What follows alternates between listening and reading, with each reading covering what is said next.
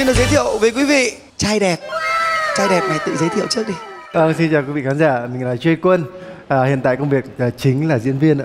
Jay Quân đương nhiên rồi rất nhiều người đã biết cái gương mặt này vậy thì bây giờ sẽ là gương mặt là bà xã của Jay Quân Xin chào tất cả mọi người, mình là Trung Huyền Thanh và hiện tại công việc của mình là người mẫu. Sau một thời gian không gặp thì thấy chững chạc hơn thấy ờ, đúng là một người phụ nữ của gia đình rồi Gái có chồng phải khác chứ anh. đúng Dạ. chính vì thế mà anh không muốn gái có chồng đứng xa chồng mời gái có chồng đứng cạnh chồng Cảm ơn anh. Ờ. theo đánh giá của em vợ em có phải là người có trực giác tốt không Vợ em thì à, giống như kiểu là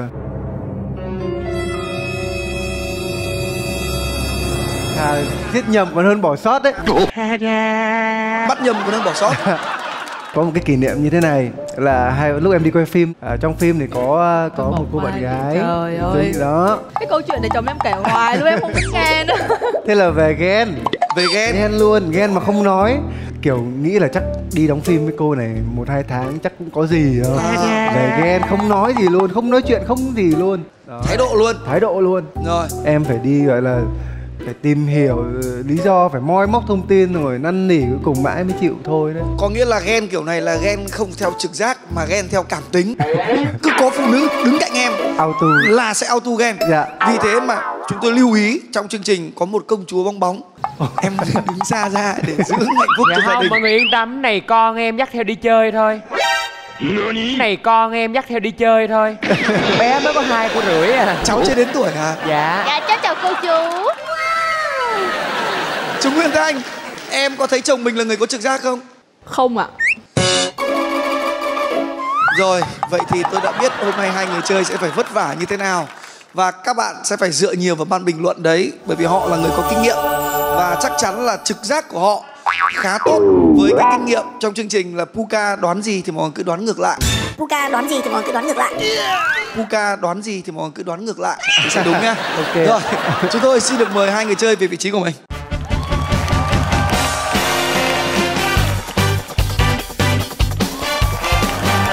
Đến với chương trình Giác quan thứ 6, người chơi sẽ phải vượt qua 5 vòng thi của chúng tôi.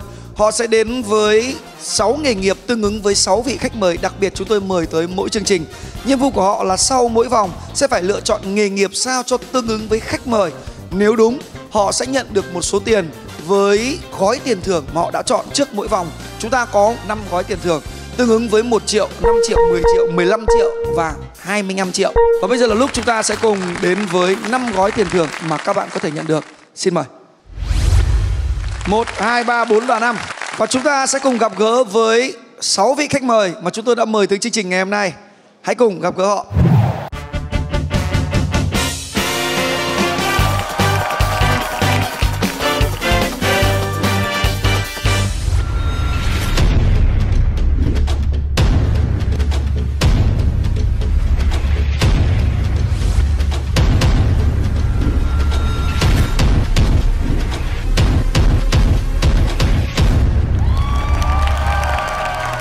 Trang phục, ngoại hình, cách tạo dáng của 6 vị khách mời này thì uh, Jay Quân, bạn nghĩ là sẽ có công việc gì ở đây để phù hợp với họ? trong đây thì chắc chắn sẽ có khoảng à, một tới hai người làm nghệ thuật Theo bạn đây là vị khách mời số mấy ạ? Vị khách mời đầu tiên em đoán là bạn à, có mái tóc rất là đặc biệt số 4 á và người còn lại sẽ là số 6 hoặc là là số 3. Thế còn uh, theo chú Nguyên Thanh khách mời số 6 thì làm gì? Là make up, make up cho cô dâu chú rể. Make up cho cô dâu. Dạ. Thực ra mà nói là tất cả những cái này chúng ta rất là khó bởi vì trong cuộc sống có quá nhiều nghề nghiệp Dạ. mà đôi khi không thể nhìn mặt và bắt hình xong được. Vì vậy mà chương trình sẽ đưa ra 6 nghề nghiệp tương ứng cho 6 khách mời ở đây. Nhiệm vụ của người chơi đơn giản chỉ là chọn nghề nghiệp nào và chọn khách mời nào Dạ. cho đúng với nghề, đúng với người.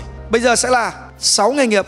Chúng ta có đàn guitar đôi, có bẻ cong thanh giáo, chúng ta có làm đồ chơi giấy, múa lân, nghệ sĩ cải lương và nhân tượng. Trong 6 nghề nghiệp ở đây, các bạn có thấy nghề nghiệp nào mà các bạn còn thấy xa lạ, bỡ ngỡ mà chưa biết nhiều về nó không? Theo em nghĩ thì là đàn guitar đôi là hơi bị xa lạ chút xíu. Hơi xa lạ đúng không? Có nghĩa là bạn chưa bao giờ được xem biểu diễn bao giờ. Thế còn Huyền Thanh, Em cũng thế đàn ờ, guitar đôi là em chưa được xem bao giờ luôn á. Vậy thì hôm nay chắc chắn là các bạn ít ra là cũng sẽ được biết xem là người đánh guitar đôi là như thế nào.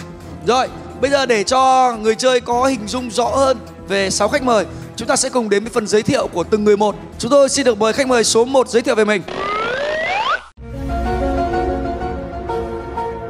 Xin chào các bạn, tôi tên là Lê Văn Dũng.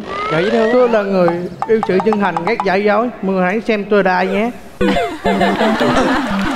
Có thể nói. Dễ thương Anh quá. nói gì anh? Nhìn muốn đựng liền. Hai ba.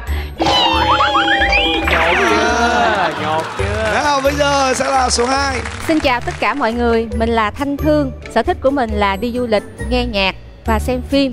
À, Đặc biệt rất yêu thích các gam màu nóng như cam, đỏ, vàng Các bạn hãy đoán xem tôi là ai nhé. Chị này dễ thương quá à. Bây giờ sẽ là số 3 Xin chào tất cả mọi người. Mình tên là anh Hào. Sở thích của mình là nghe nhạc và đi du lịch. Mình yêu sự tự do. Mọi người hãy đoán xem mình là ai nhé. Chúng tôi xin được mời bạn số 4 giới thiệu về mình. Xin chào tất cả các bạn, mình tên là Lê Bửu Trọng. Mình rất thích sự tỉ mỉ và yêu cái đẹp. Mọi người hãy đoán xem mình là ai nhé. Rất nhẹ nhàng, ngắn gọn. Xin được mời số 5 ạ. Xin chào, mình tên là Lý Nguyễn Hải Sơn Nếu ghép họ và tên của mình lại Thì sẽ thành một cái tên khác. Buka biết tên gì không? Tên gì á? Lý Sơn. Đó là một cái đảo ở tỉnh Quảng Ngãi. Mình rất thích nơi đó. Và mong một ngày sẽ đến nơi đó. Các bạn hãy đón xem mình là ai nha. Xin được mời bạn số 6 Xin chào mọi người, mình tên là Khánh Tâm. Sở thích của mình là được đi du lịch cùng các bạn Và thích ăn các món ăn ở đường phố. Mọi người hãy đón xem mình là ai nhé ngay sau đây chúng tôi muốn quý vị khán giả nghỉ ngơi trong ít phút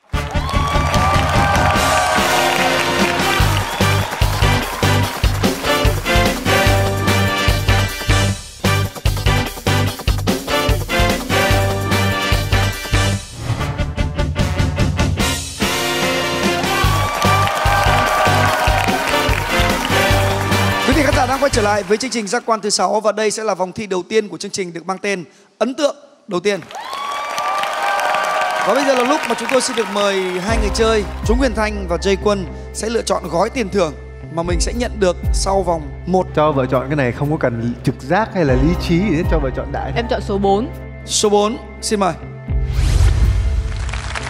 Chúng ta sẽ biết số tiền là bao nhiêu sau khi các bạn đã lựa chọn xong nghề nghiệp tương ứng với khách mời. Bây giờ sẽ là công việc mà các bạn lựa chọn sẽ là Nhân tượng ạ nhân tượng.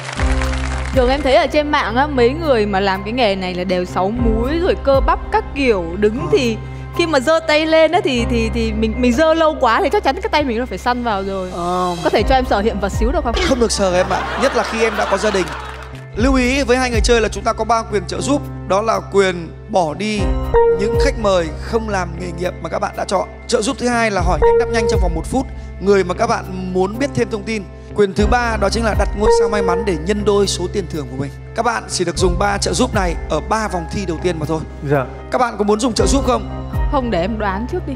Em đang phân vân giữa anh số 1 và anh số 5 này. Nhân tượng thì phải đứng đứng như tượng đúng không? Mà thấy hai anh này nãy giờ đứng là không nhúc nhích luôn á. Thế còn Jay Quân Em thì lại nghĩ ngược lại với vợ em luôn Em quan sát rất là kỹ cái bạn số 5 bạn khi bạn đứng á Nãy giờ bạn đứng á thì cái cái tấn của bạn ấy rất giống những cái người học võ sẽ liên quan tới bẻ cong thanh giáo hoặc là múa lân. Cả bạn số uh, 1 cũng vậy. Thì loại trừ ra thì chỉ còn bạn số 3 thôi. Ngoại hình của bạn số 3 cũng cực kỳ hợp với cái nghề nhân tượng. Bạn đứng cũng rất là điềm tĩnh. Bình thường ở nhà thì những lần mà em làm cháy vợ kết quả thế nào Jay Quân? kết quả cũng không tốt đẹp lắm anh ạ. Không được tốt đẹp đúng không? Và đấy anh chỉ nhắc em vậy thôi. Nào hãy cùng xem ban bình luận họ sẽ đánh giá thế nào. Xin mời uh, Puka. Người nhân tượng chắc chắn họ phải biết một vài động tác nhảy. Tại vì sao? Tại vì khi mà họ làm tượng thì họ cũng phải cử động theo cái kiểu mà theo nhạc theo nhịp theo điệu rồi này để cho người ta cảm thấy thích thú thu hút người ta. Xong rồi người ta mới lại người ta chụp hình. Và đặc biệt là em biết là nhân tượng thường sẽ nhảy popping là nhiều. Thì bây giờ chúng ta nhìn đi. Bạn nào? Tay dài chân dài. Thì mới có thể popping được. Gầy gầy một tí xíu. Chỉ còn anh số 3 thôi. Anh số 4 thì uh, nhỏ quá. Và bây giờ sẽ là quyết định của hai người chơi. Các bạn sẽ lựa chọn công việc nhân tượng thuộc về khách mời nào? Số 3 nếu em chốt hãy bấm chuông. Giờ và tin chồng đúng không Tin một lần thôi. Một lần nếu mà không đúng là mấy vòng sau là không tin nữa hả? Chồng tự về mình đi. Chồng tự về mình đi. Tình nghĩa đôi mình chỉ thế thôi sao? Có trò chơi xong chương trình này hai vợ chồng Ồ, vậy mình mình còn dùng quyền giúp đỡ đi. Thôi mình chọn loại trừ đi cho chắc đúng không? À, em chọn uh, loại trừ. Trợ giúp loại trừ. Bắt đầu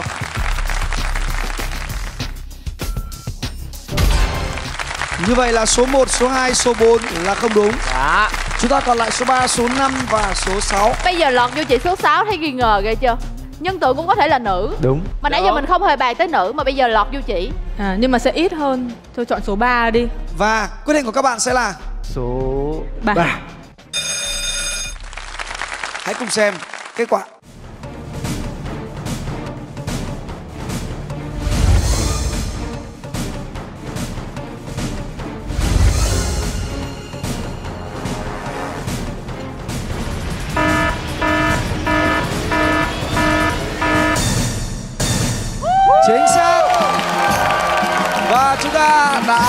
lựa chọn chính xác ở vòng 1 Khách mời ở vị trí số 3 đó chính là Nhân Tượng. Và hãy cùng xem gói tiền thưởng số 4 là bao nhiêu tiền. Mười triệu.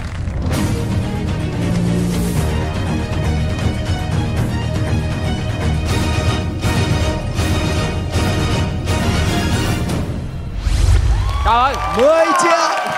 Nói như thần luôn thấy chưa cả nhà Tiên đoán như thần ha. 10 triệu đó chính là số tiền thưởng mà các bạn chắc chắn đã có được. Và bây giờ chúng ta xin được mời bạn số 3 sẽ tiến lên phía trên.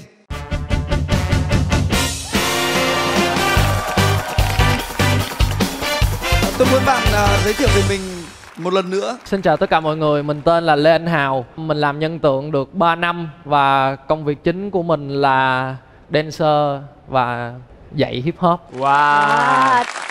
Nhân tượng có hai dạng. Một dạng là cao to mét tám mét chín như người mẫu cơ bắp rất là đẹp. Và họ khoe body. Còn một dạng là họ dùng kỹ thuật nhảy để biểu diễn để làm cho người ta thích thú và đến để chụp hình. Khi mà làm nhân tượng thì chúng ta sẽ rèn luyện được tính kiên nhẫn. Thưa quý vị, ngay sau đây để quý vị có thể hiểu rõ hơn về công việc cũng như cái môn nghệ thuật nhân tượng dành cho những cái dancer như là bạn Anh Hào đây.